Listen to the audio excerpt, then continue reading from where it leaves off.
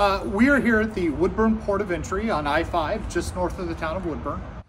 Oregon motor carrier enforcement officers and safety investigators are reaching out to drivers when they issue warnings, citations, or inspections to share anti-trafficking materials. Uh, the materials we receive are from an organization called Truckers Against Trafficking.